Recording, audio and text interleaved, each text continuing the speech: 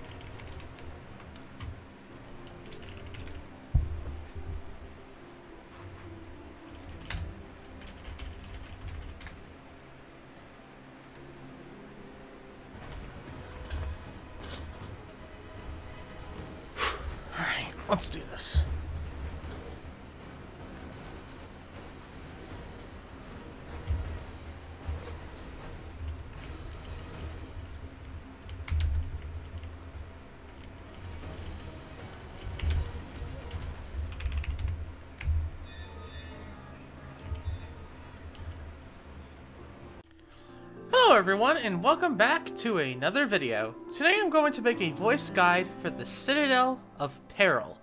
Believe it or not, this is the tower with the least wins in it. In total, only around 500 people as of this video have beaten Citadel of Peril, with TOZ not even being close to second place. This Citadel is extremely different where you need to go very fast and be as quick as you can. If you're too slow or fall down too far, you will hit an insta-kill lava pool, which instantly rises as soon as you start, and the further up you go, the quicker the lava rises on top of it. This is a high remorseless citadel and is way harder than Zezplez, making it, in my opinion, the second hardest tower in the zone. With this being the second hardest tower in the game, second to only Quadrilaterals. This citadel is a completely different experience and ride compared to any other tower in the game. It requires a different type of motivation and persistence to get down. So whether you're thinking about giving this heart-rushing Citadel a go for yourself, or just want to see the Citadel for yourself, let's go ahead and head inside the Citadel. Welcome to floor 1. This is really the most painful floor as you have to do this all the time. And even though it has pretty simple structures, it gets really frustrating and really annoying. This floor was definitely one of my least favorites in the entire Citadel. I highly recommend you do this skip, it'll save you some time, but make sure you're careful of moving parts that can hurt your run here.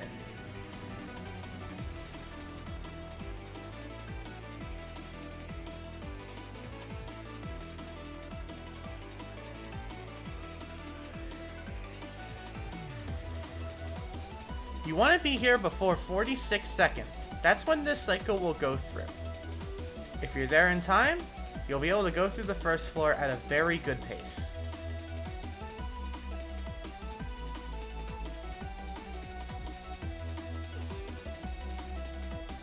Drop down on this wraparound and be careful of the wraparound right after. For some reason I like to fall there a lot.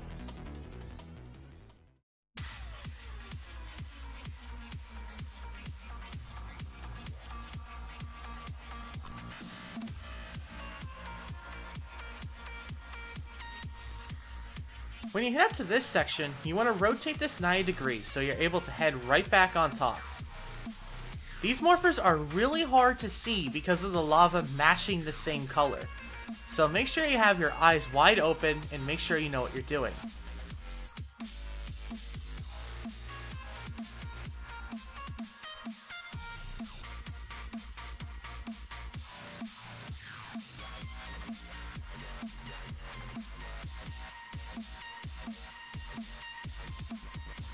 I recommend you only play this Citadel on a laggy server.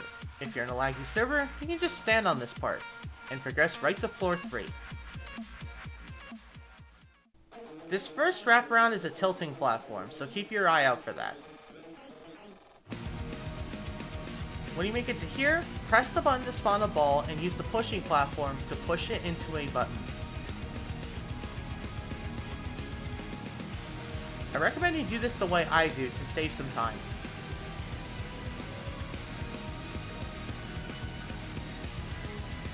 You get to these trusses, I recommend you simply just take your time. You don't want to rush these trusses.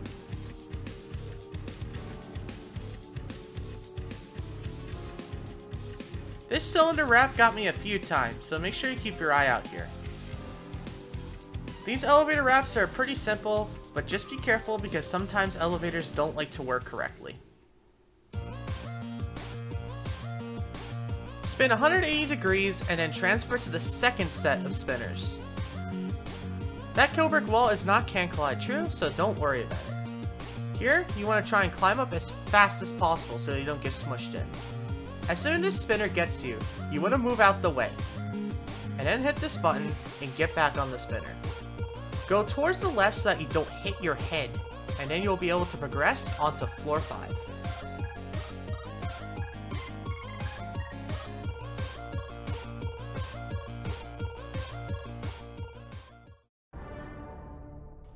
Floor 5 has these visibility buttons scattered throughout the tower.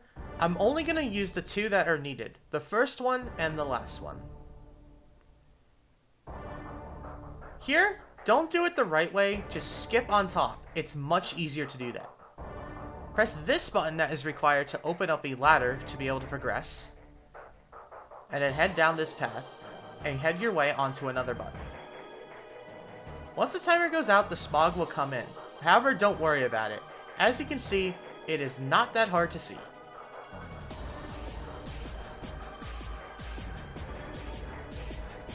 Once you hit this button, this wedge ahead of you will appear. I recommend you hold W on this push platform, and then just tilt your camera and jump. It makes this jump way easier to pull off. If you touch any of the walls in this part, you'll be teleported to the beginning of the floor, so simply maneuver around and use the lower parts to your advantage. If you fall in the orange, it simply will just take you to the very beginning of this short little section, so don't worry about failing this part. Once you press the green button, your visibility will be back, and you'll be able to progress onto the 6th floor.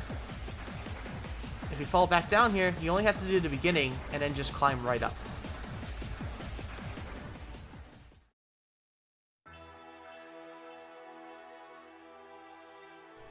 These two platforms are seesaws, so keep that in mind.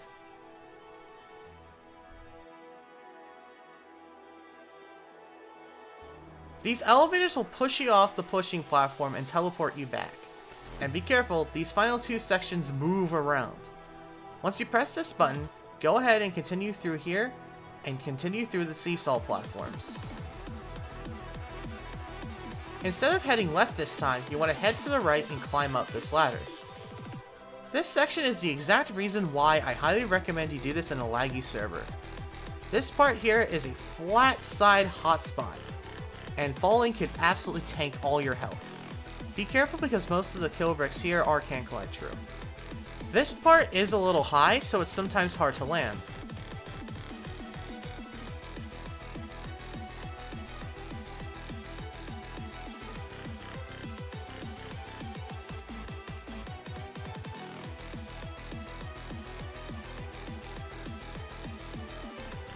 These elevators were my PB for a while. They are very annoying. As soon as you bob up, that's when you want to do the move. This section was really annoying and made me rage so much until I got it down. However, after you pass that section, you are already on the 7th floor. Nice job. Head to the right and you will see reason number 2 why I recommend you do this in a laggy server. This elevator section will absolutely take all your health down and will absolutely get you frustrated. Because you don't have to do it just once, you have to go back and do it again. But this time, getting onto the elevator back is a little bit glitchy, so do be aware of that. Then, you just have some fairly simple obstacles for a lot of the rest of the floor. Sometimes you're lucky, and the ladder is filled in for you. Don't do it! There's a cheese barrier on floor 14, and I am not aware, though, if that's the reason why it's there, but be careful. You'll though need to grab three hammers to pass this section. Just follow me to each one of them. The first two are really easy and have little to worry about. While this third and final hammer, it's pretty easy to get to, there are quite a few times where I fell here because of the weird janky angling that this part has, so do keep that in mind.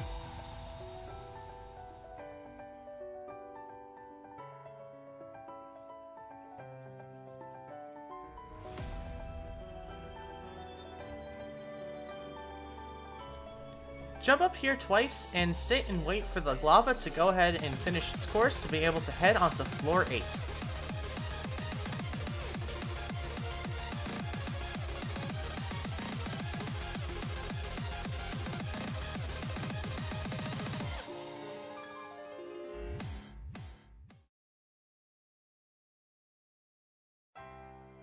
Throughout this entire floor, you'll be sandwiched within two kill brick walls. And because of the very slow pace that this floor has, the lava is going to get pretty close to you by the end.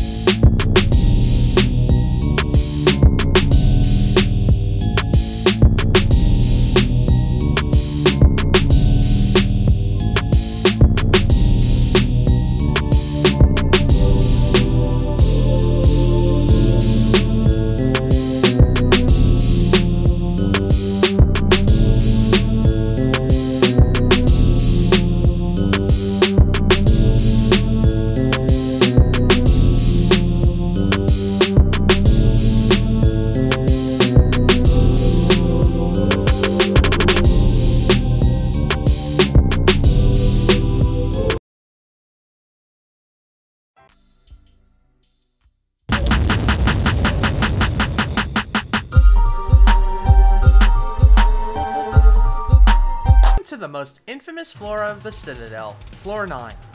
This floor is well known for being the hardest floor. I personally thought this floor was really easy, it was just a terrible building that made this really frustrating. You'll see what I mean. This first section is really easy, and then you head onto these conveyors. This is the part that people commonly complain about, but however I found this really simple. Just simply take your time. These platforms will move in and out. As soon as they see out, I recommend you count to 3. After you count to 3, simply transition quickly to the other side.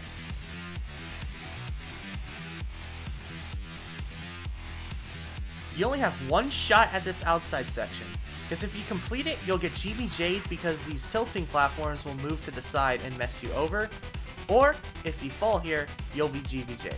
However, I only failed this outside once.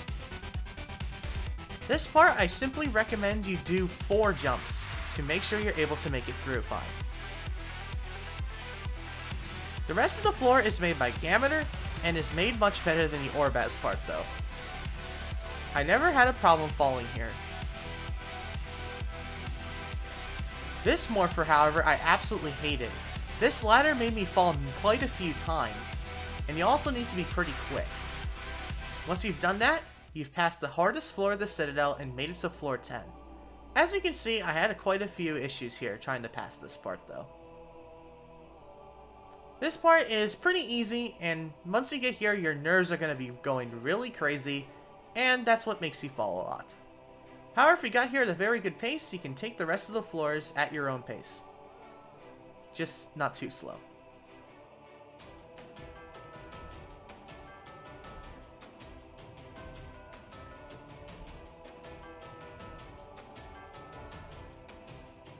This spinner section is pretty simple with a little bit of practice. I highly recommend you go into practice time and practice this section out, because this section is really easy to slip up.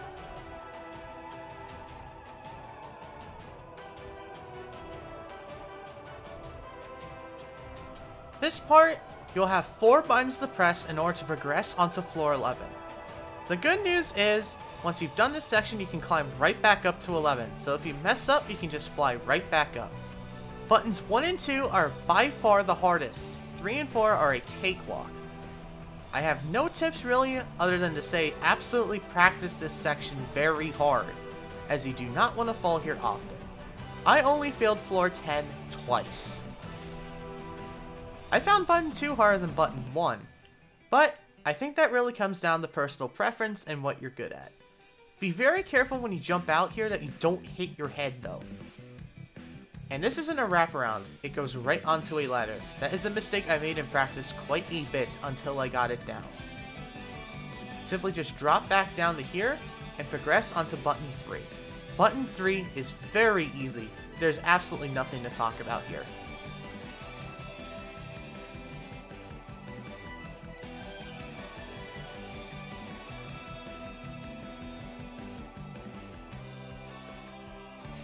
Button 4 is also extremely easy. You won't need to practice this real long in order to get it down.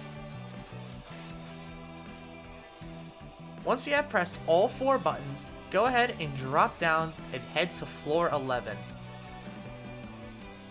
Floor 11 is luckily very short and relatively simple. The main obstacle you'll see are these hole-in-the-wall wraparounds. Skip this pushing platform by doing a long jump like I did. It's much easier.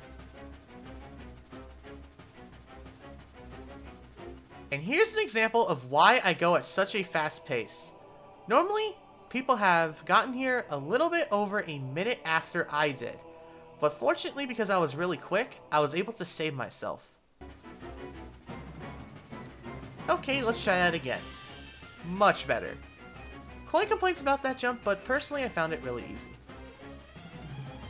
Make sure you jump onto this stud here, and be careful. This part spins very quickly.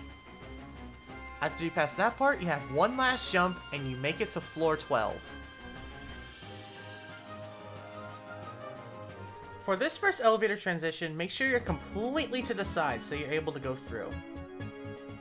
This wrap is also a little complicated, but be careful. These spinners are actually really easy, just a little bit daunting. Here, you want to hit the Morpher and immediately get on the block. It does not move with you, so you'll need to hold space and W to move around.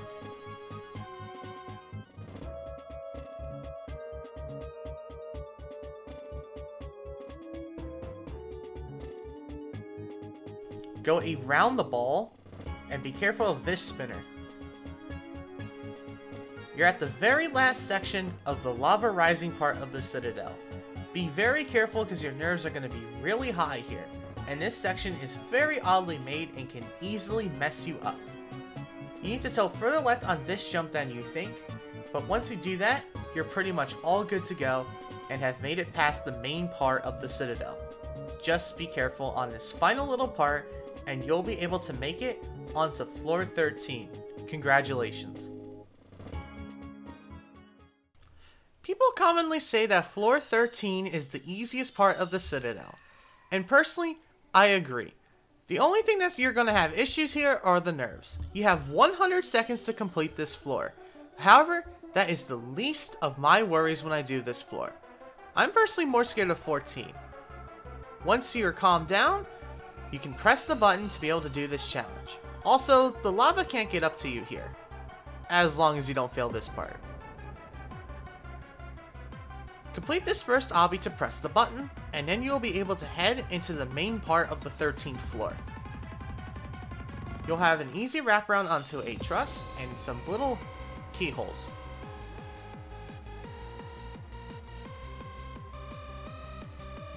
Wait till you get speed and transition to the other side, but be careful, you have a lot of speed, and as you can see, I fell.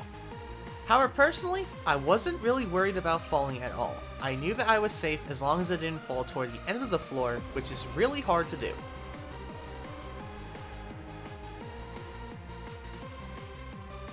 Once you're slowed down in this part, you can go ahead and progress through the rest of the floor. The first thing you'll need to do on this part is to head to the middle spinner, and then head to the button on the other side. Once you do, you need to head back on the spinner, and proceed to the final section of the 13th floor. Go around this section, and press the button, and then head back, and don't fail this thin stud onto floor 14. When I say floor 9 was infamous, I actually think that this floor is even more infamous around the community. This floor is really long, really annoying, and if you fall here once, your run is over. You're pretty much screwed if you fall, unless you catch yourself on something, which is extremely rare. My personal recommendation is to practice the part before the rising lava and the part after synonymously and try to get it down as best as you can.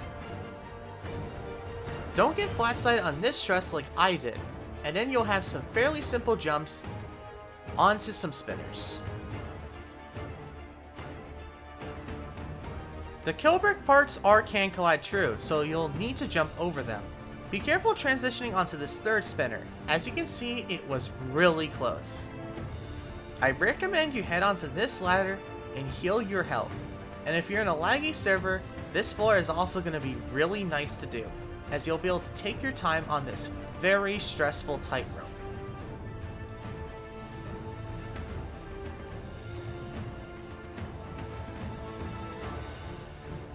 Here, you'll have some conveyors. Just like floor 9, this section is not that bad. Just take it nice and slow and be careful. You do have to do some pretty long jumps, so it can be haunting. This, just wait for the spinner to be horizontal, and then I recommend you go for it. Once you get to this conveyor, just simply jump around and wait for the platform to come. You have completed the very first section of floor 14, and the one that definitely scares me a lot. But now once you press this button, the lava will slowly rise. The lava slowly rising is the thing that you need to worry about the least. The lava rises very slowly, and as long as you go at a normal pace, you'll be fine. Just don't stop and take a little bit of a nerve break here, or else it will result in the ending of your run. Walk down onto this small stud, and then be careful. You have these little weird jumps here. I simply recommend you line up and then go through them. Once you're here, you're to need to go to the right side and press this morpher. You'll have 20 seconds to get the button and back. You need to do this in first person, because if not, your legs can split and then your run will end, because you'll fall right in the lava. And even if you save yourself, you're not going to have enough time. I came back with around 4 seconds. Take that as you will.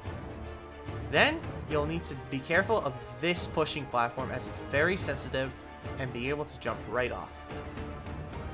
This section of floor 14 isn't hard, it's just absolutely stressful, because if you fall here, you're pretty much done, as there's nothing you can do to save yourself. Once you get here, you'll have some walkarounds. And the worst part of floor 14 is this part. You need to do some one-stud transfers, and you only have one mess up here if you're fast enough. This part I found really annoying and difficult. If you're able to pass that part, as long as you're not stupid, congratulations.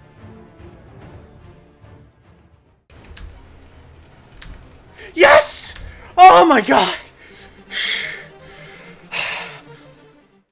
However, I recommend you don't get too comfortable.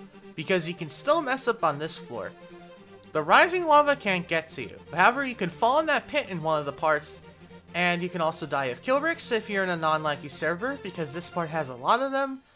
Or you can fail the final jump, or you can do what Guest did and just held R on the zipline and completely restarted his run. Good job, buddy. Anyways, I simply recommend you sit down and take a little bit of a breather after completing your biggest challenge, Floor 14. Huge props out to you.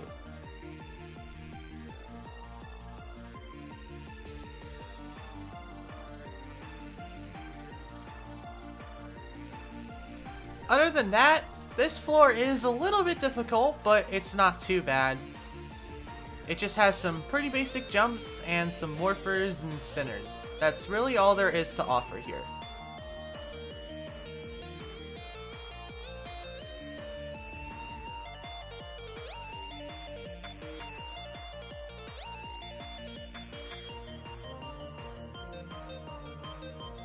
None of the morphers move with you, so you'll need to move around them.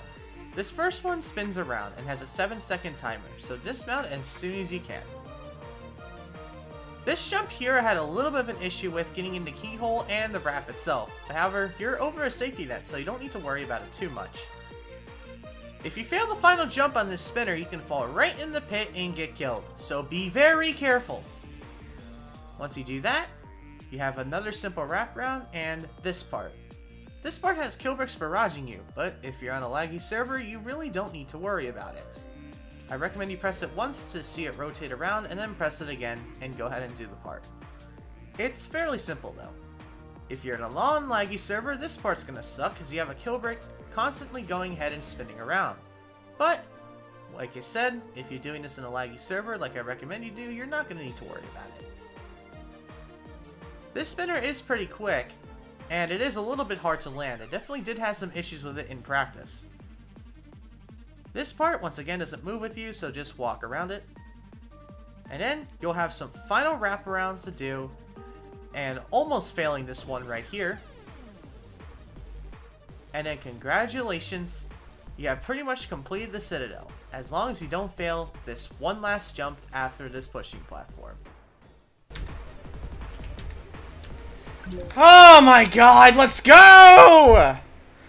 Oh! Freaking high rem citadel down. Let's go! Oh! Oh! Whew! Oh my god, that three stud stick out is scary. Oh my gosh. Woohoo!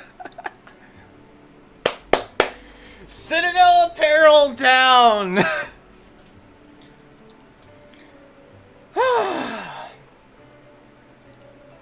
Golly, is that a ride? Bro, my roulette was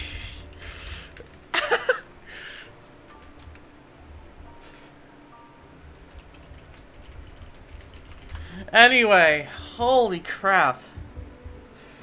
Whew, I don't have much to say. I'm lost for words. Wow, this is just completely different compared to any other thing I have played in the past. It's a completely different skill set, and it's completely unique to me. I really enjoyed it. I had a good amount of fun with it, but definitely towards the beginning of the grind, when I was trying to get past 6, it was very boring, and I barely wanted to even beat it. So, you can see the lava there behind. That's the volcano. You can kind of see it. There it is. That's the very thing that we just defeated, Citadel of Peril. You can even see 14 filled up with lava. That's a rare sight to see. But golly. Oh my. This has been a ride. I'm very glad it's over though. I heavily enjoyed the Citadel and I'm very glad I did it. I would actually not, even though I enjoyed the Citadel, personally, I wouldn't recommend it because eh, for a high rem, it's you pretty much can't take much with you because you have to be fast. And if you do a single fall, your run's over. And for most, that's going to be annoying. But personally, I really enjoyed it, though. But I don't think most of you will like it. I know people do like it, but there's also people who really hate it. Which I completely understand, and I completely am in agreement that this somewhat sucks, but at least had a good amount of fun with it. So, uh, thank you all for watching. I haven't gotten much to say. I'm very fortunate. I literally first tried 15. Ah, uh, very happy it's over. Thank you all for watching. It's been a pleasure. See you all later.